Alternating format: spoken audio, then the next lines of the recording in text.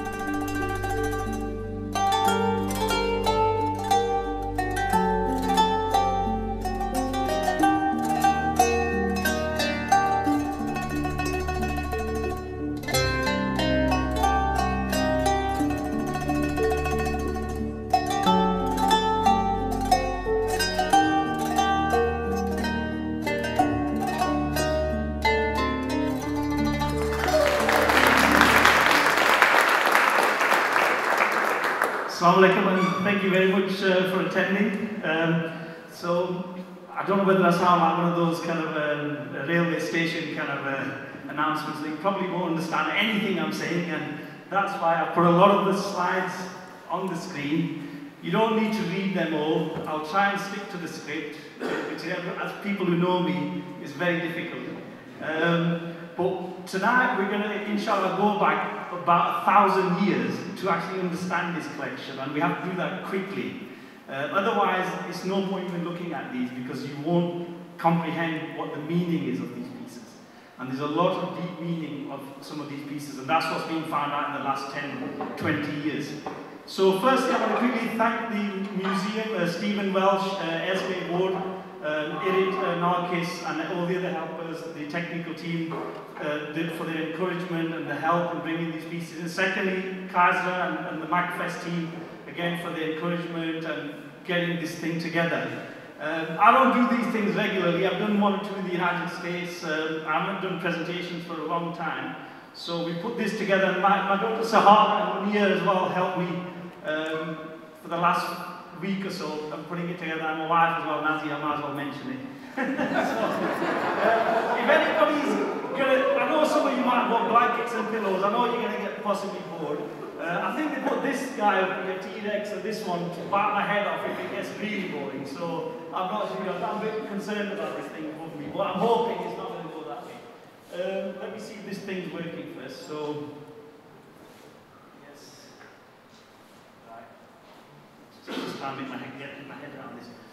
Okay, so the collection has, um, it, it, it, as I said, the collection lives in the United States and in the United Kingdom.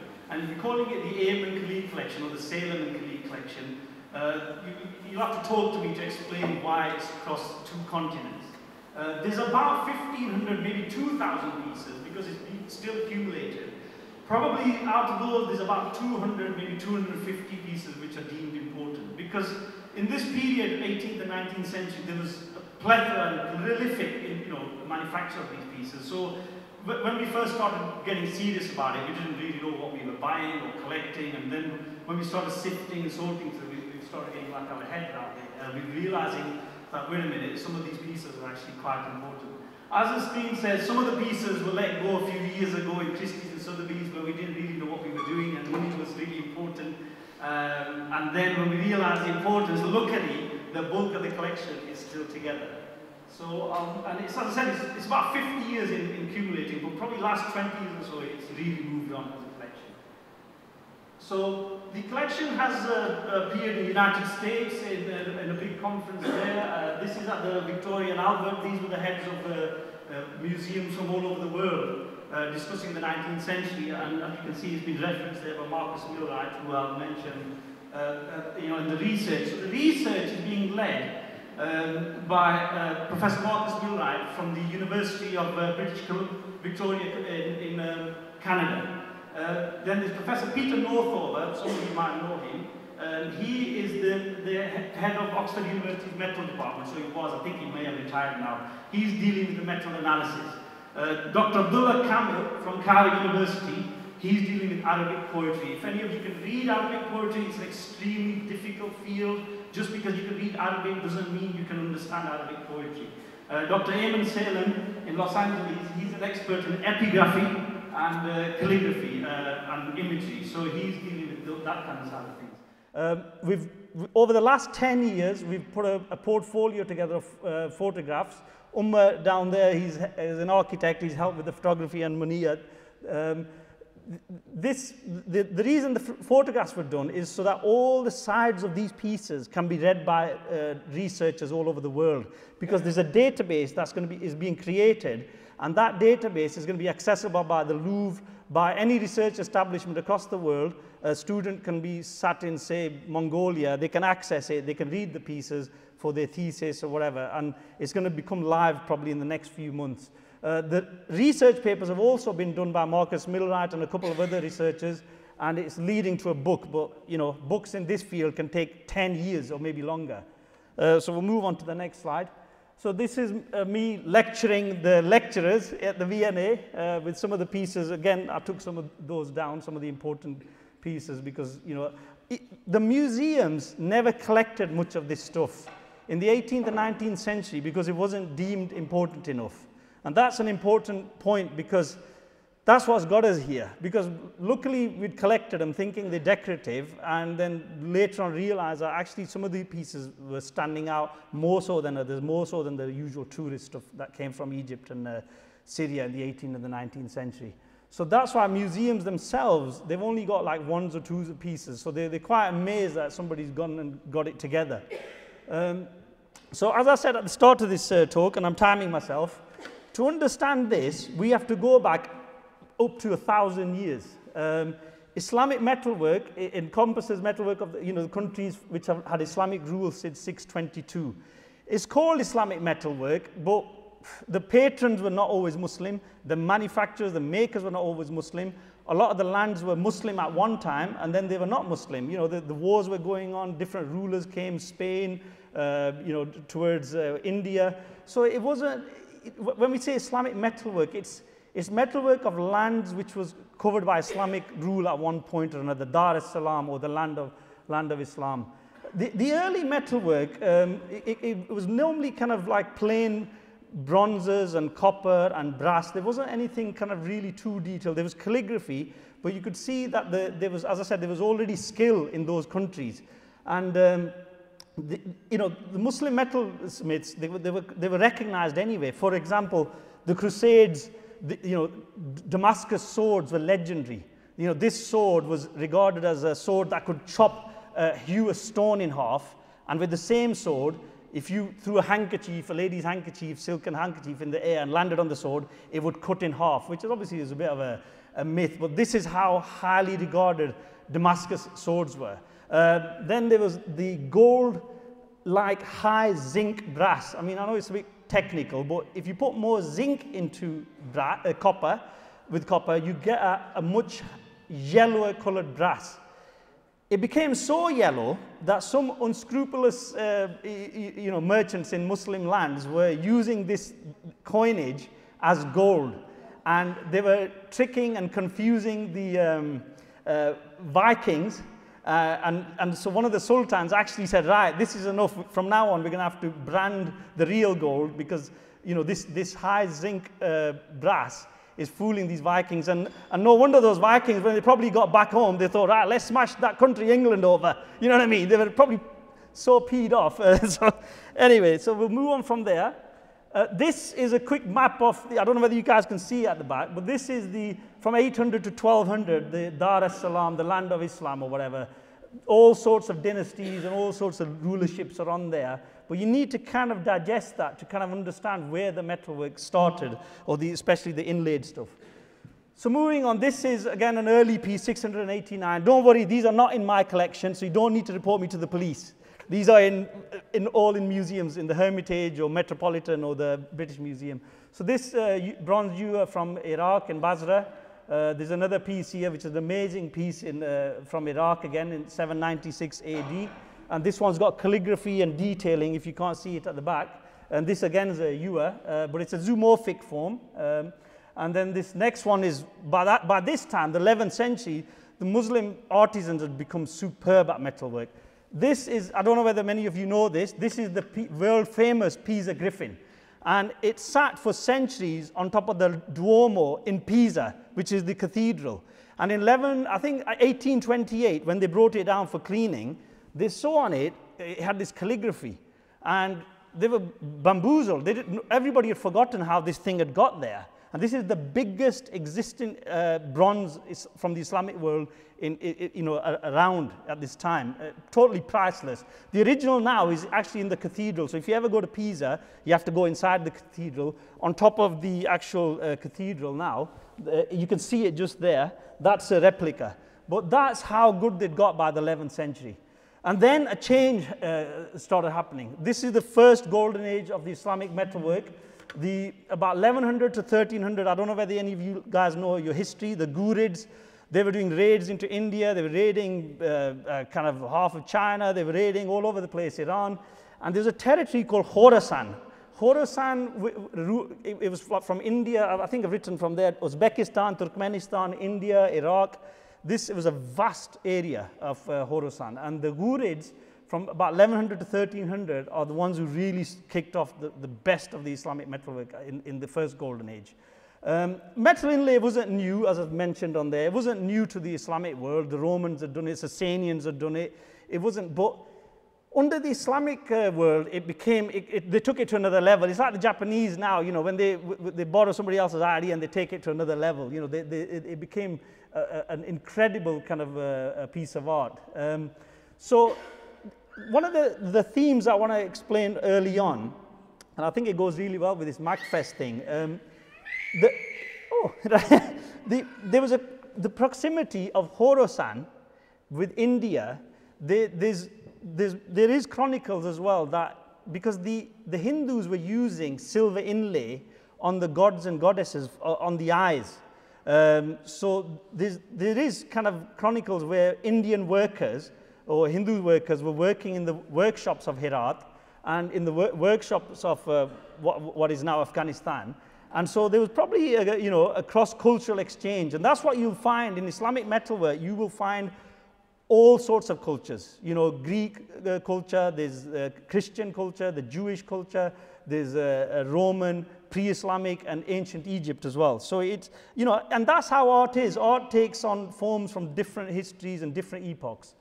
So these uh, metalsmiths, this is like one of the one of the superb. I think that's at the Louvre, or it's possibly at the Hermitage in uh, in St. Petersburg. And the and St. Petersburg, I think, has got one of the best Islamic art collections in the world in in Russia. That's from Herat again, 1180 to 1210. Um, then the metalwork then moved because these craftsmen didn't stay in one place. You've got to remember, they were making this metalwork to sell. So a lot of the metalwork in Herat was exported.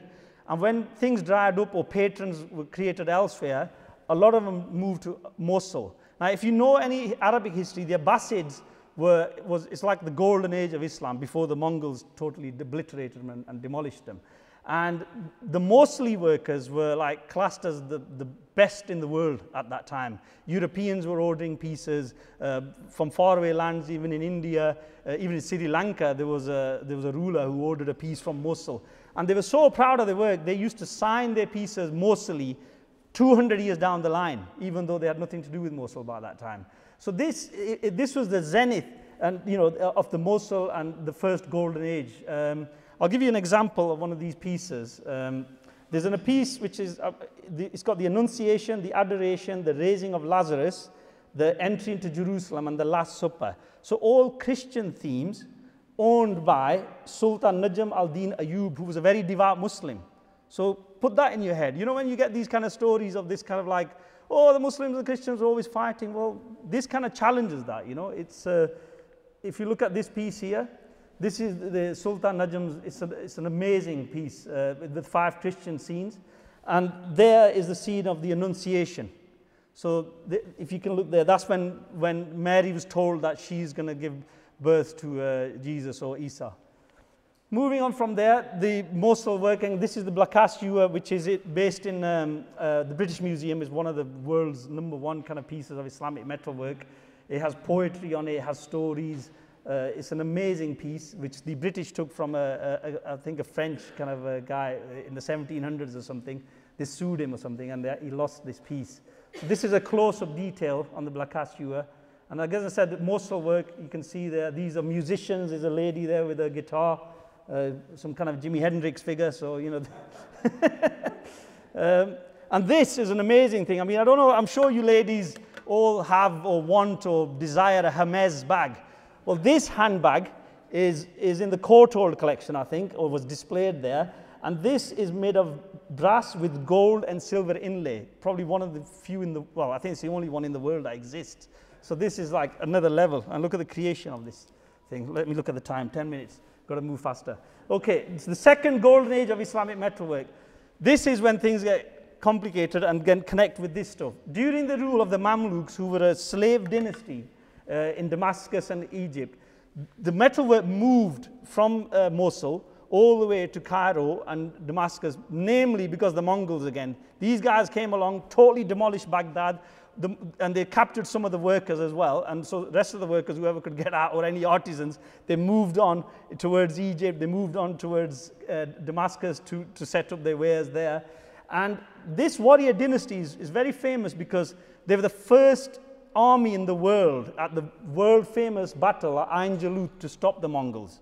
They defeated the Mongols at Ain Jalut, and you know, even all military historians tell you it's one of the, the signature kind of battles in world history. I mean, the Christian crusaders actually who ruled the land where Ain Jalut was, they were so scared. They said, okay, we'll move out, you bring your army into the Mamluks because they knew the Mongols were coming, because everybody was terrified. And it was the first time the Mongols were actually stopped. So these people, because of their military background, they, their metalwork, if you start looking, they had blazons, they had huntsmen, powerful beasts, lions, eagles, and epic titular calligraphy, you know, which is like kind of like the egotistical kind of side of the Sultan. Uh, this is like a, uh, on an original piece, you can see there's a blazon, it's a, the, the cup, which is of the sake, the, the taster, the wine taster or the food taster for the Sultan so that it doesn't get poisoned to death. Um, and then we move on. So the Mamluk era saw a move from figurative work, what you saw, uh, well, you're going to see in a moment, to monumental calligraphy, like big, large uh, uh, big uh, uh, text. Uh, and the, what, this period was, again, as I said, it, it kind of surpassed the Mosul work in a sense. The, the next piece I'm going to show you, which is in the Louvre, which some of you might have seen, the Baptistery, it's like it's the Rolls Royce of Islamic metalwork which is existing. And it was so important that the French kings, till I think 1700 and something, they were all baptized in the Baptistery de Saint Louis. Um, and again, we're looking at the interna internationalization of this metalwork. Tin was coming from Cornwall in England, zinc from Germany. And that 500 years later, in the 19th century, 18th century, the same thing was happening. Sadly, the end of the second golden age happened, inflation, the plague, people couldn't afford to put silver and gold on their pieces the cost of materials and the invasion by the Ottomans in the 16th century, it more or less diminished the art. And then we're going to move on to the collection. So up to now, you've seen pieces in museums, and now you're going to start seeing the pieces from the collection. I thought it's a good idea to do a talk and then punctuate it with the pieces. So this is the, uh, the Baptiste de Saint Louis. In, uh, uh, this is like a half a meter sized basin, and it's an amazing masterpiece in, if you look at it in the flesh, which, which has got battle scenes on and and the king and the, the you know, uh, different princes and all sorts of animals giving chase and zoomorphic figures and fantastical beasts. There's even like there you can see a, a unicorn. It's, it's, an amazing, amazing thing. That's like a close-up of this piece. And it's, it's, it was probably sold to, uh, uh to somebody who went, took it to France because it's got no Islamic kind of calligraphy on it or anything. It's got six signatures of the Ibn Zayn. He signed it six times and he's, you know, he's put you know, may Allah forgive him because he thought he'd made something really superb, but he didn't want to become too big-headed about it, you know, in, in case he uh, uh, gets God's wrath. So let's we move on now to the Mamluk revival, uh, this period of metalwork. So the 18th and 19th century saw a gradual decline of the Ottoman Empire. You know, there was Napoleon's invasion of Egypt, 1790, was it 92 or 99? Uh, the independence of Greece, the war that was going on. And the, the, there was wars all over the place. Crimea on the periphery, the British, the French, and the Russians, they were fighting each other. They were sometimes helping the Ottomans, sometimes they were fighting against the Ottomans. And then uh, this led to a rise in Arab nationalism. And the one thing about the Ottomans, I've got to uh, hand it to them, they left the Mamluk system of rule in place because the Mamluks had, uh, had a really efficient system. They put an odd governor in place, but they left the overall system of emirs, the lords of the Mamluks, in place. Uh, so the patronage for the metalwork remained, and that's how we get this connection. But it was a smaller scale and more underground. And the, the, these guys, the Mamluks, existed till 1811 under the Ottomans. But in 1811, uh, the governor of uh, uh, Egypt, uh, Muhammad Ali Pasha, who a lot of you know classed as the modern age of Egypt, he horrifically massacred the, the remaining. Uh, this is an Orientalist painting from the 19th century uh, depicting this horrendous scene where he invited hundreds of the emirs into a tight street at the citadel in Cairo, Saladin's citadel. And in this, he, he, he, called them in for a banquet, for food, and said, Oh, come and join me, and whatever. And when they're all kind of all possibly drunk and full of food or whatever, they're on their way home. There was a tight street with high walls, and he barricaded it, and he massacred them all. He shot them, poured boiling oil over them, and, and arrows and everything. And you can see he's like looking, he doesn't really care, whereas his uh, slaves and stuff are like looking uh, terrified at, at what's going on. And it, it, this was like a, a, big change. You know, the emirs kind of disappeared in 1811. So moving on, love, defiance, and bravado. Why, why have I put that title? Well, some of these pieces, which we've separated from the rest of the uh, inlay from that period, they seem to have, like, they seem to capture that mood of that period. There's, there's pieces with classic Arabic poetry from the 11th, 10th century uh, Hamdani and Antar. Antar and Abla are actually pre-Islamic and they influenced uh, Shakespeare, the Antar. Uh, there's also harking back to the golden age of Islam and Arab rule, you know, um, with Mamluk, Mamluk titular script, like you look at this tray here, and I can show you some pieces on here, as well as ancient blazons, armorial symbols, uh, uh, images of kings, princes in court scenes. So it says, though the Mamluks, or whoever was ordering these people, the wealthy Arabs, it was like a maybe a rebellion against the kind of Ottomans at that time. This is, as I said, all these pieces you're seeing now are in the collection. So this amazing candlestick, there's a poem on top of it with silver inlay, and you can see the animals running around uh, in this really highly complex shape. Um, th this, this is the kind of uh, titular words you'd, have on a tray. So glory to our master, the Sultan al-Malik al-Muayyad, the learned, the just, defender of the faith, the warrior of the frontiers, the protector of the frontiers, lion of the world and the religion, Dawood, Sultan of Islam and Muslims, the manifestation of justice among all, son of the master, the Sultan al-Malik al-Muzaffar, the fortunate, the martyr, Shams al-Dunya. So you can see they're not, they're not exactly not bragging. You know, so when you would have gone into a palace or a small, you know, one of the mansions, or and you know, you, you, would have walked in and this would have shocked you. It looks like the sun, and it says Shams al-Din, which mentions the sun. Here's a closer detail of this superb tree. I was going to bring this, and uh, it, rightly so said we've got no space. Uh, so uh, it's, it's about this kind of size. It's a gigantic kind of a monumental size, this thing. Silver and copper inlaid onto uh, brass. Uh, here's another ball uh, from the 18th and 19th century. This is a sided ball with a complex shape. Uh, and you can see in the middle that copper cup. Again, this is the armorial cup of the Saki. Uh, it's a blazon of the Mamluks. Moving on to the next slide. So rebellion and invasion of the tourists, right? So as, as the Mamluks, uh, as I said, I've already mentioned the thing about the rebellion and, and the Ottoman yoke. But as the, as the Mamluks were finished off, they were killed off by Muhammad Ali Pasha, the, and there was a rising Arab nationalism. The, and there was a huge book, uh, a brilliant book called uh, Monument du Caire. It's called The Monuments of Cairo by uh, the uh, Egyptologist Prisse d'Avennes. People read this in Europe, in America, and the grand tour, tourists started coming to Cairo and Damascus to look at these exotic lands. And, you know, they were really kind of like taken away how, you know, what kind of scenes were, they were in Cairo. So again, here's a candlestick, which is an amazing piece um, if you look closely.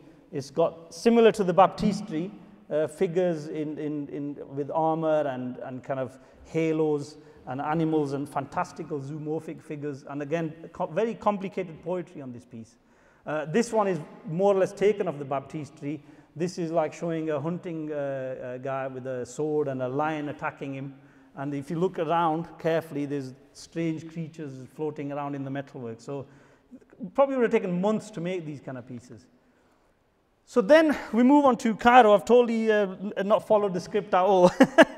um, Cairo at this time, if, look, if you look at this quote from the 1001 Nights, you know, he who has not seen Cairo has not seen the world. Its dust is gold, its Nile is a wonder, its houses are palaces, its air is temperate. Uh, Agar were cheering the heart, and how could Cairo, the mother of the world? So Cairo was an amazing place anyway, even, even for the Arabs who lived there. It wasn't just the uh, Europeans. Uh, let me see if I can get into this thing. Uh, oh, um, one second. I've been timed out in that uh, frenzy of uh, talking.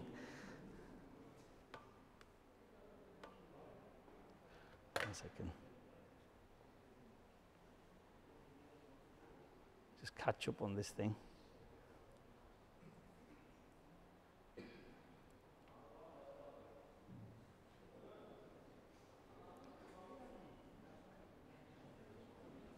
Okay, I think we're there now. Yeah, that's fine now. So as I said, these wealthy tourists came uh, from America, United States, Germany, Britain mainly, France, and they were traveling around the streets of Cairo looking for the wares that they'd seen in the mosques. And in the, there wasn't really, I think the first museum was about 1890. So they, they would have seen Islamic, uh, you know, genuine pieces in the, in the great mosques of the Mamluk mosques of Cairo and in the great palaces. Um, and a demand got created for this Mamluk revival. Uh, so it wasn't just the old emirs who'd, who'd wanted these kind of pieces made. The Europeans created a demand as well. And exponentially, there was a rise in the manufacture of this silver inlay in, in Damascus, and uh, the technique like came back to life. You know, considering after the Ottoman invasion, it kind of died off. It, it suddenly came back, and they were saying that Damascus actually was the more prolific manufacturer. There was, even though in Damascus there wasn't as many kind of Mamluk um, buildings and things for them to copy, there were, there were probably 300 workmen compared to about 30 workshops in uh, Cairo at this time. Um, we'll just go through uh, Cairo at this time. So this is like an Orientalist painting. You can see a candlestick there on the right-hand side, a 19th century. The painter of this possibly was just, he stayed and lived in Paris or London. he did never even went to Egypt. Uh, maybe some kind of a drawing came back or something. But there was an imagination going on amongst the Europeans of Orientalism and all these harems and, and, and the fantasy kind of image that started, you know, with, with, with the kind of tourists who went to Cairo.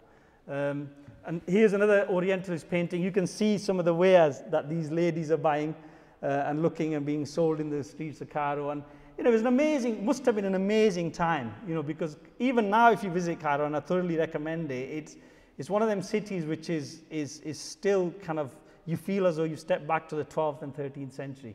Um, I will move on. And, you know, here's an old photograph, probably from about 1810 or something. And one of the amazing things of Cairo, you know, you could in the morning go to the Khan al Khalili Bazaar and buy like that bowl or that tray. And in the afternoon, go to Heliopolis and buy a mummy or two, that the museum probably has. Here's a mummy seller in Cairo in the 19th century. So it, must have been an amazing kind of uh, place to be.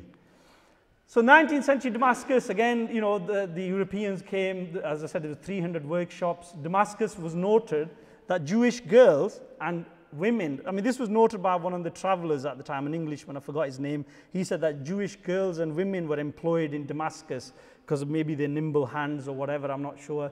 He, he mentioned that. And whereas in Cairo, it was mainly men. Maybe they've got nimble hands. I've no idea.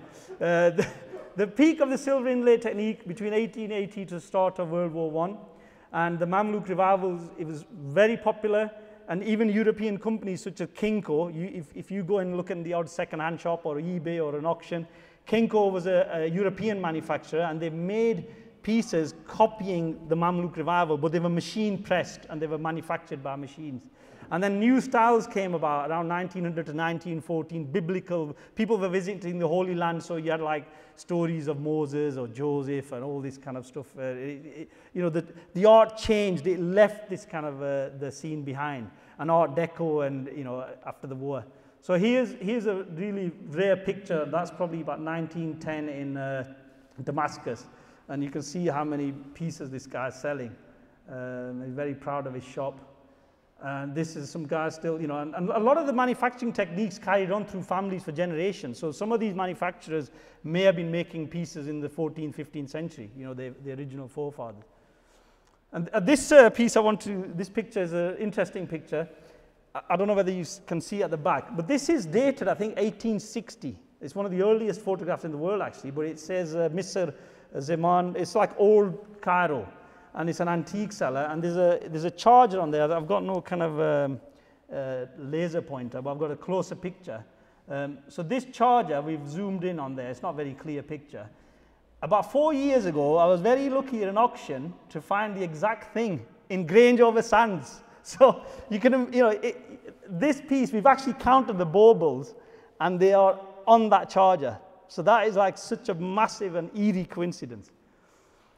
And then, as I said, you know, the pieces are changing in the nature. So here's the, uh, uh, that's the ten, uh, ten Commandments, that's Moses with the two strange, those two strange things on Moses' head are the horns of knowledge. Uh, when Moses gained his knowledge, the, the, you know, uh, he, he, got horns of knowledge, uh, God says. And then this is the Ark of the Covenant and the, the, lions of Judea, and with the birds and things, you know, going on. So that's like, um, again, made in Damascus, probably. Um, this is a very interesting piece. So if you look at this one, it's, it's got Adam and Eve in the middle, with, in the Garden of uh, Eden. And on the sides, it's got like stories from the Old Testament. Um, you've got Samson, you've got Noah's Ark at the bottom there, you've got Abraham, uh, I think Abraham, and there's David, uh, there's Moses at the top there with lots of people saying, Let my people go to Pharaoh. Um, it's an amazing piece, and I think that's uh, Solomon the Great. Uh, no, yeah, no, Solomon the prophet. And this piece is, if you look on the inner circle, I, I think of it, yeah, that's a close up. So on the inner circle, you can see Hebrew. On the outer circle, you can see Arabic. So the manufacturer of this, I mean, I, I, don't know who it was aimed at, but it's obviously aimed at tourists or maybe it was a patron within the Middle East. But what you have to remember in the 19th century, uh, probably only 4 or 5% of the population could read or write.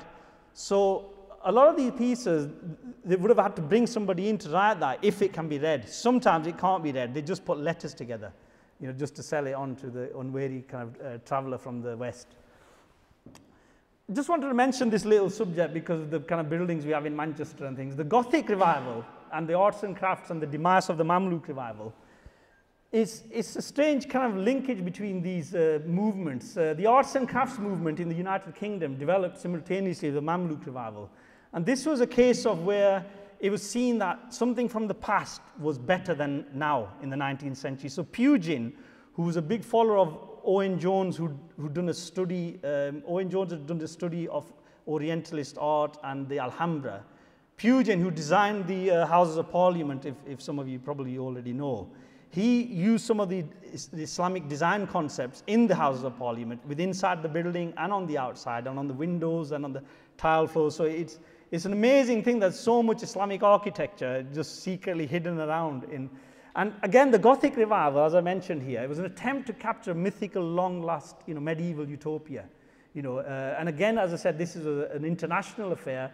Tin was from Cornwall, brass from Germany and Britain, recycled brass this time from Germany and Britain was coming through to Egypt and uh, Syria, uh, as well as the Middle East. But however, after World War I, European taste changed and the artisans, poor fellows, they started struggling, you know, to, to try and keep up with the taste. Uh, Tutankhamun's tomb got found in 1920 something. Uh, Art Deco came out. Um, so they were making umbrella stands and they were making cigarette dispensers and, and modern kind of lamps with silver inlay and, and, and electrification as well. Electrification was more prevalent. So candlesticks, which was one of the great Islamic traditions, was more, they weren't really needed anymore. So if you think about it, these would have been the chandeliers of the ancient times.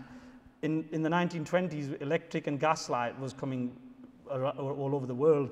They were, they were not really required. So this was a kind of sad, more or less, demise and the ending of the uh, Mamluk revival. So quickly going on to the collection, uh, as I said, it's 1,500 pieces, maybe more. Two or 300 of those are probably important.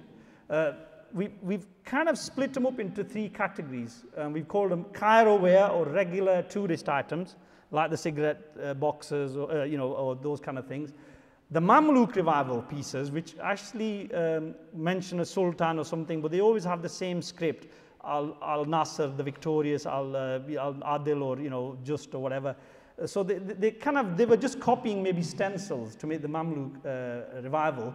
And these key pieces, if you look when you uh, when I've finished the talk here, These, as I said, are the more serious pieces, which actually mention specific sultans and the kunya, which is the title of the sultan, is, is actually in the correct order.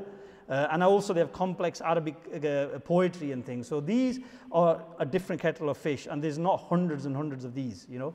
Um, so as I said, the collection has small trinket boxes to Quran boxes, which are like 60, 70 centimeters in, in, in, in length.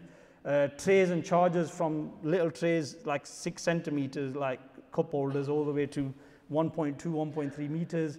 Um, incense burners, uh, ewers and water sprinklers, tables and stands, bowls and basins. And, and in our collection, one of the most important things are, the, are these candlesticks, these armorial candlesticks. So again, uh, this, this quote I've put onto this ewer. This ewer is in my collection, but this quote's from the Her uh, Herat manuf uh, manufacturers, and it just made me laugh. My beautiful ewer, pleasant and elegant in the world of today, who can find the like? Everyone who sees it says, it's very beautiful. No one has found it twin because there are no others like it. And it's a lot longer, this poem. This ewer is for water and they make it in Herat. In what other century can they make the like of it? And if you saw the original, I, I, I would agree. Seven heavenly bodies, however proud they may be, are protection for the one who works so. Let kindness come down on the one who makes such a ewer. So he's, he's uh, self-congratulating himself. Who wastes gold and silver and so decorates it? Because he wants the patron to order some more pieces. Let happiness come to him if he gives the ewer to a friend. Let trouble come if he surrenders it to an enemy. So I just thought it was an interesting thing written on a piece. You know, it was always like marketing kind of material on your item that you're selling. So I'm just going to go through a bit more of the theory side of the metalwork. I've got a few minutes, I think. Um, metalwork as an art and technique employed by craftsmen. So I kind of got this thing of Wikipedia and, and put it towards kind of the collection that we have. So you've got five functions of art. Uh, one of the first ones is beauty. And I think this is the main thing that probably draws in all humans, you know, mankind across the world. Uh, the basic instinct for harmony, balance, and rhythm. So there's an overwhelming feature of art, especially Islamic art, is, is beauty. However, some, uh, th this is something to remember. If an artist made something too perfect in Islamic art, especially like the Persian rug makers, or if they were too proud of something, they actually used to make a purposeful mistake in their art. So that was to show that they are not God. They are not equal to the, the creator who is the maker of perfection. So these artists were extremely humble as well. Uh, number two, experience the mysterious. You know, when we look at art, something mysterious about art, you know, like if you look at a, an interesting abstract painting, the mystery draws you in. So the usage of the, the Muslim artists, or you know, uh, artists of Islamic art, used calligraphy and zoomorphic animals and incredible beasts and fantastical beasts to draw the, to the observer in. Uh, expression of imagination via non-grammatical way, which I think, for me, is a big connection to MaCFest especially. That means a universal language, a metaphor, in the sense that art is doing the talking. So when anybody can observe this piece, they don't need to be a Muslim or a, a devout person, or they, they, can be any. But a, human being, when they observe a, a, piece of art, whatever it is, it could be provocative, it could be subtle. The, the, it's a non-grammatical language. There's no talking. The piece is doing the talking. And I think that's what unifies us humans. And this, this is the important message that I am hoping that this collection throughout the world as we travel around with it eventually, we want to get the message across that Muslims have got to understand that they were, they were heavily involved in art. You know, they've always have had a, a, a, big investment and suddenly we're told, oh no, we're not, we can destroy all the uh, history, historical art. It's a lot of rubbish. Um, so number four, ritualistic and symbolic functions of art. So sometimes you'll have a piece made specifically hold, hold something. And I'll explain all these with the pictures in a moment. And motivated purpose. Motivated purpose, art as entertainment. You know, you got your poetry, political change, propaganda, or for subversion. You know, and, and I love subversive stuff. Here we go. So here, this tray is an amazing tray uh, owned by a British dignitary in 1910. It's got a signature on the side somewhere. I haven't taken a picture. But I put the hadith of the Prophet there where, Allah, uh, where, where the Prophet said, Verily, Allah is beautiful and Allah loves beauty, i.e., God is beautiful and God loves beauty. And we should always remember that, you know. Uh, this is another close up of this superb uh, uh, tray, probably made in Cairo. You can see fish, uh, kind of uh, Kufic calligraphy, there's little birds, it's, it's, and there's work behind the silver as well. It's, You could go on forever on this, but you can see little peacocks over there. It's, it's an amazing piece. Um, this piece, this candlestick's a very interesting candlestick, as I was saying, where it was saying art, you know, where, where it draws the observer in. So here you've got on the top anthropomorphic calligraphy, which has got people on it. And then this middle band is zoomorphic and anthropomorphic. I mean, there's some kind of modern woman there with long hair.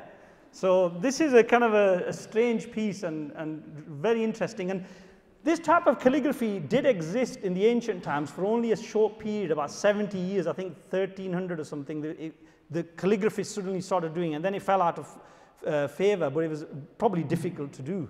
But in the 19th century, it was brought back in, on the odd piece. Not many pieces have that. Uh, this piece, again, the metaphor, the non-grammatical talk. So this piece is uh, fish, which I think everybody can understand is connected to water and purity, and that's the bo bottom of a bowl. So this, you wouldn't even see this. This basin would have been put down, and you're washing your hands over it, and there's work on the inside of this basin and on the sides, and, and they've gone all the way and decorated the underneath. But as, as I said, that metaphor, I think most of us understand that fish and water kind of go together. Um, this tray is an amazing piece, about the same size as this one, and we have to get really close and personal with this. So if you look there, I don't know whether the people at the back can see that. So again, it's like looking down into a pond. So you've got all these sea creatures and snakes and zoomorphic calligraphy, uh, fish. Uh, it's, it's, madness. Everything's going on. Is it a coral reef? Is it in heaven? I, I have no idea. I've gone even closer there. So you can see these kind of animal-headed kind of calligraphy and those strange faces and, and the fish and the bigger fishes. Probably what was seen in the Red Sea. And, but I think this is a definite piece from Cairo. Uh, then we're talking about function. Uh, here's a, a, Quran casket about 55, 60, 60 centimeters uh, square. Huge thing, probably 25, 30 kilogram. The, this was probably copied of the original one. The original one exists in the Cairo Museum, uh, owned by the Sultan Qalawun, uh, which was given to one of the mosques in, at the time of Qalawun. Uh, it would have held a 30 volume Quran. Um, and again, silver and copper inlays on top of brass. And here's the top of this. Uh, you can read it there. I'm sure most of you can read it. Quran al-Kareem, Ayatul Kursi probably on there in Kufic and different scripts and just an amazing uh, uh, array of colors. Uh, this is my favorite piece out of my whole collection, out of everything. I love this candlestick. These figures in the center, like dome on the domes, they, they're like almost like a Fatimid revival, which eh, I don't know whether, I don't want to go into that. It's, a, it's another uh, talk that really, but they, they're magical figures. You've got like a Pegasus, you've got this, uh, the eagle kind of attacking the hare. Uh, it's, it's a superb piece and with, with very complex uh, poetry on it. And, and probably, I'd, you know, I, I, I just would, if, I mean, Muslims are not allowed to be buried with something, but that, that piece I'd like to be if I could have been. so, um, this is an interesting piece. Uh, I think a lot of uh, people love this piece. this is a pair of candlesticks as well, actually, and it's reminiscent of the baptistry. So you can see these, and, and if you look at the eyes, the Turkic kind of features, you've got to remember the Mamluks were Turkic, most of them were Turkic, uh, but some of them were like European. You know, there was, it was in the original Mamluk times, a blonde haired, blue eyed Amir could have easily been going on his horse in 1250 in the streets of Cairo. You know, it was, it was not an unusual thing.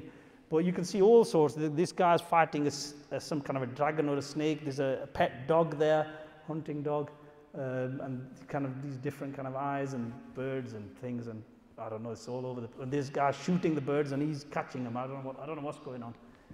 Um, and this is usually a, a very typical Islamic scene where they've got the gazelle on the back the gazelle, if you know much about Islamic art, it, it kind of comes up um, regularly because it, it it's either rep represents the sultan's power over the, his subjects or man's power over women.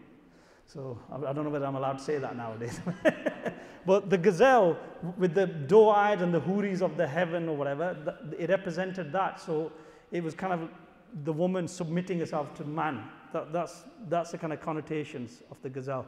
Cross-cultural influences, as we told before, the Star of David, lotus of ancient Egypt, um, and many designs were taken from architecture, Greeks and Christianity, the fish, you know, the alpha, omega of the Greeks and the Coptic and Byzantine. Um, here's a, a Judaica tray with the Star of David with a, a gold on top of silver at the back. um, and with crescents around it, so it's uh, probably still under, still under the Ottoman control. But, you know, the Ottomans actually got on with their Jewish subject, subjects. They didn't really have a major problem. Um, the next, next piece is the, here, uh, you can't really see this, but these are the lotus of the ancient Egypt on this piece, and this, uh, just brass on this uh, amazing piece. Epigraphy and imagery, superlative use of imagery and complex calligraphy and geometry. And they used calligraphy and complex geometry to draw the observer in. And sometimes you read it and it was just a simple message. It wasn't even that complicated, but it was, it was a trick that the artist used. So this superb tray uh, with the calligraphy in the middle, it's got Quran on it. And then they put calligraphy on top of the calligraphy, which is not easy. To, especially to write the verses of the Quran. It's an extremely, extremely rare piece. I've never I think I've seen another one like it, but not as big. Uh, this huge bowl, about 60 centimeters diameter, is from a pair of basins. So you've got magical animals, two bands of calligraphy, and there's calligraphy on the top. Uh, we'll move on quickly. So you've got work on the inside with these giant fish, and again the, the script of the Mamluks, uh, the Al Malik al Sultan, uh, and this is the underneath of the basin. And I said, this is all, you can see that's my arm there. Um, it's a bit tanned, but it's, yeah. So this thing's about 60 centimeters, I think, from what I remember. Geometry and cosmology. Geometry in Islamic art is highly important. It signified the, the oneness of God because in geometry, all geometry starts off at one point and comes back to that same point, which means it comes back to God. And these complex designs are like infinite space. And then there was symbols as well of cosmology. You know, there's like a guy who's got his legs folded I think he's one of the planets or something, and there's all sorts of kind of uh, uh, uh things connected uh, with the. So here's a, complex calligraphy, sorry, complex geometry in the middle of this tray, with the calligraphy pointing towards the geometry.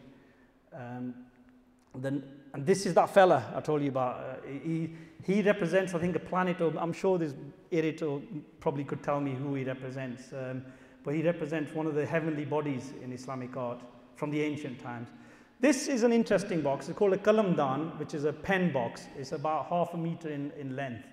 Uh, you know, th this, I brought this in to, on the pictures to show you, this is the interior of the pen box. Um, and then when we move on, you can see the lid. Well, again, that's Sagittarius. I'm sure some of you into your astrology, shooting his bow, and that's a Sagittarius, shooting this kind of a, a mythical beast.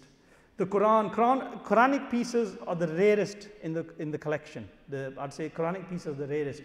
Out of the whole collection between the United States and here, out of hundreds and hundreds of pieces, we have about 20. So why that is, in the old times, when the Quranic pieces were made, the maker used to be in a state of wudu, which was ablution. So imagine trying to stay in ablution and making one of them pieces for weeks on end. So you're not going to get much work done. So that was one of the reasons. The other second reason was it was felt that if you made a big tray, somebody could disrespect it. They could put something filthy on it or unclean hands. It, it, you know, nowadays you could probably go to Mecca or Medina and you can pick up these trays or whatever and made in China, made of plastic with God's name written on. There's millions of them. But in those days, the makers were kind of conscious because there is there is uh, hadiths where kind of you know, or, or I think in the Quran where Allah says, "Don't sell my words cheap." So you have to be careful, and that's why the Quranic pieces are the rarest pieces. Uh, this is an amazing, uh, over half a meter tall vase uh, designed as a mosque lamp. It can't work as a mosque lamp, it's just purely decorative because it's got no holes. And it's got the Ayatul Kursi, the throne verse, and the name of Prophet Muhammad. Um, and this is a similar near pair with more silver on it. And again, the, I think it's Ayatul Kursi on this piece as well poetry. As I said, the, the Arabs absolutely loved poetry. They had poetry before Islam. Uh, the seven hanging poems of the Kaaba. The Kaaba had poems stuck onto it. Um, and you know, it, was, it, it, showed sophistication, it showed culture. So, so, whoever was into poetry, you know, even now most Arab people, they struggled reading some of the classical poetry. And there's Hamdani, uh, Antar and Abla, uh, they're the kind of poems. Um, so this is a quote from, I think, um, or the fairest person to all except in my treatment. You carry grudges and you are the opponent and the arbiter.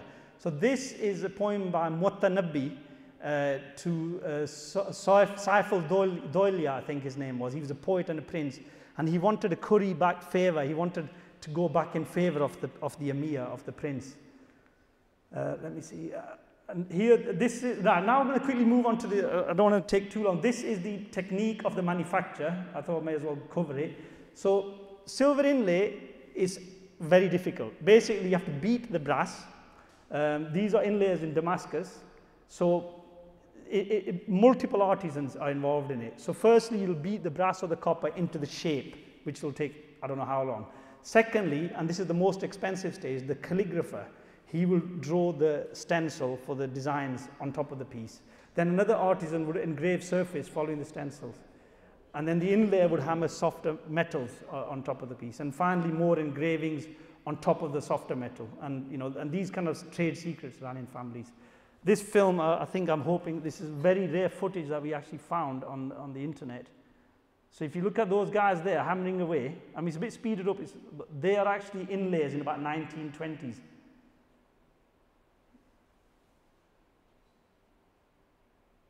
That film's gone all over the world. I was the first to find it.